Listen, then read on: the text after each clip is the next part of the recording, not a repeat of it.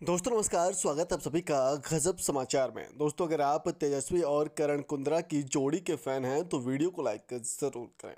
जी हम आपको बता दें कि आधी रात में यहाँ करण कुंद्रा ने तेजस्वी से पूछा कि क्या तू स्ट्रेस है? यानी कि क्या तुझे कोई प्रॉब्लम है? इस पर यहाँ तेजस्वी कहती हुई नज़र आती हैं कि मुझे स्ट्रेस क्यों होगा?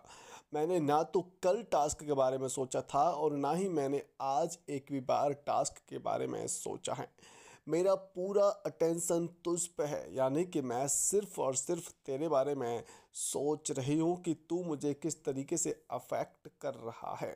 जी हाँ तो इस तरीके से हम आपको बता दें कि जब यहाँ करण कुंद्रा तेजस्वी से ये सवाल पूछते हैं, तभी तेजस्वी काफ़ी भड़क जाते हैं और वो कहती हैं कि, तू हमेशा सभी घर वालों के साथ में बैठा होता है, लेकिन मैं अकेले बैठी होती हूँ और मैं सिर्फ़ और सिर्फ़ तेरे बारे में सोच रही होती हूँ। मुझे इस गेम की नहीं पड़ी है, मुझे सिर्फ़ और सिर्फ़ तेरी पड़ी है कि तू आखिर किस तरीके से मेरे साथ बिहेव कर रहा है। जी हाँ तो इस तरीके से यहाँ तेजस्वी जो है कर्ण कुंद्रा के इस सवाल पर काफ़ी गुस्से में नज़र आ रहे हैं। बहरहाल दोस्तों, इस वाक्य पर आपकी क्या राय है? आप अपनी राय हमें कमेंट बॉक्स में कमेंट कर ज़रूर दें। साथ ही अगर आपको वीडियो पसंद आया है तो वीडियो को लाइक और शेयर करना तो बिल्कुल भी ना भूलें।